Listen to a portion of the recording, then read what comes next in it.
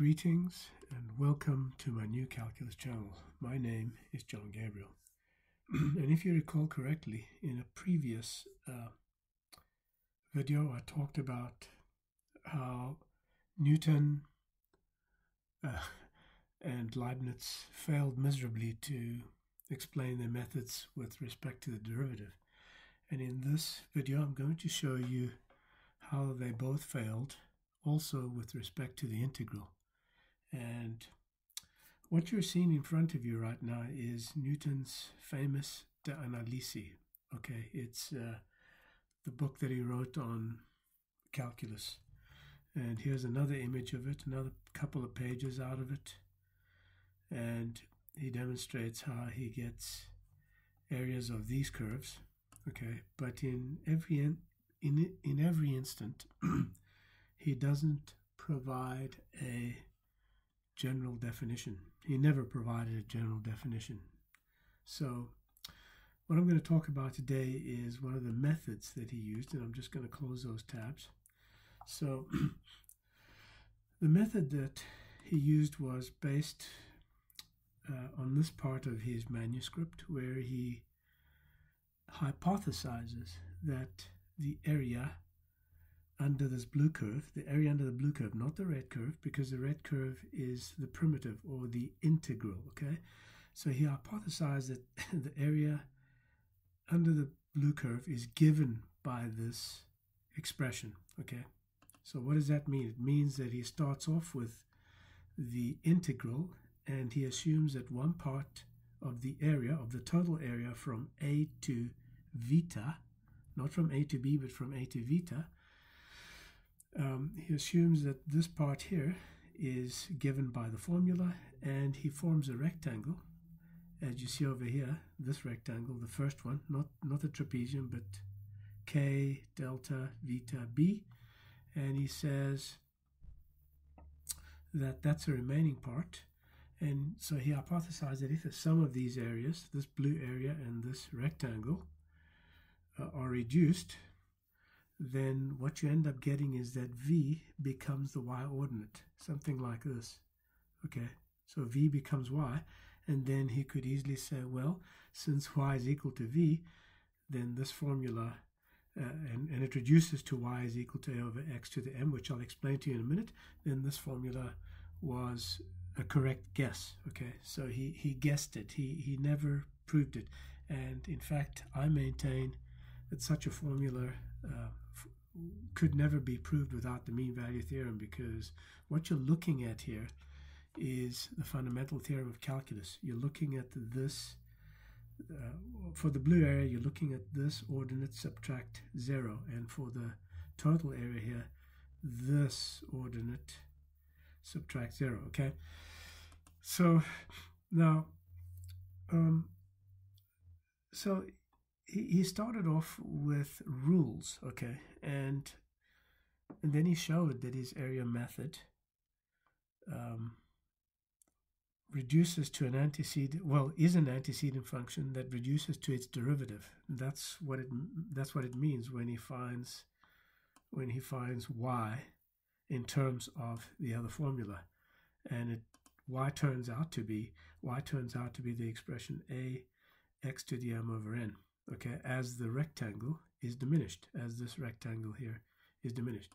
So, um, so, so Newton really, you know, and of course, uh, this here shows you how I did it. He, he first of all uh, hypothesized that z of x plus o is equal to z of x, which is the blue area, and that OV is the area OV is the area of the rectangle. And of course, he expresses OV in terms of the integral and shows that it reduces to the derivative, which is this function y is equal to ax m over n. And I didn't actually uh, show you the working of how you get that, but when you back substitute, you get y is equal to ax to the m over n. And so, so as you can see, at no time did Newton actually prove the above result. And in fact, he could not prove it because he didn't know the mean value theorem. And the mean value theorem is how we realize the fundamental theorem of calculus. I was the first to prove the fundamental theorem of calculus without faith. using the mean value theorem. It turns out that you can prove it in one step. All you need is to, to have the mean value theorem, and then in the next step, you have the fundamental theorem of calculus.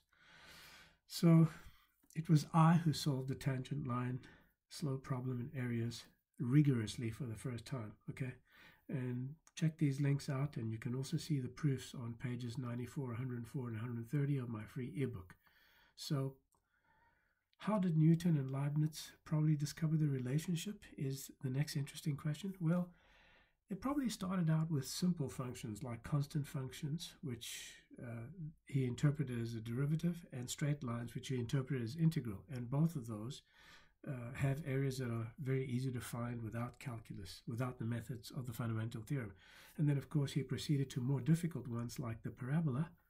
And thanks to Archimedes, both of them could find the could do a similar exercise with x cubed and 3x squared. So Newton wouldn't have touched x cubed with a 100 foot barge pole because there was no way he would be able to do that. So uh, originally he did it using the knowledge that was um, already established by Archimedes. Okay, so in other words, you can find the area of a, of a parabola and then of course just do a difference with the ordinates as you see here just subtract this ordinate from this ordinate okay right so so um, this is a general idea behind the fundamental theorem and how it relates to its derivative. And this is the correct way to express it. It's the integral of f prime of x is equal to, from a to b is equal to f of b minus f of a. And Newton was a master of approximations, okay? It is my opinion that he extended this idea to any smooth function, conjecturing that it would hold just as expected from a theorem. So Neither Leibniz nor Newton proved the conjecture, and it remained unsatisfactorily proved until my new calculus, um, where I showed that the fundamental theorem is derived from the mean value theorem. And I do it in two ways. I do it using the flawed machinery of mainstream mathematics and also using the new calculus, which does not contain any ill formed concepts like infinity, infinitesimals, and the circular rot of limit theory. So if you're not already a subscriber, become become one. Tell your friends about my channel. Tell your tell your friends about me. Visit my academia page where you'll find lots of articles and uh, some applets and of course links to many of many other interesting articles I've written. Okay, so that's pretty much it. I'll put a link in the details section to all this relevant information and uh, also a link to a place where you can contribute to my efforts um, and my research. Okay, so uh, this is a new calculus channel. I'm John Gabriel. Till next time.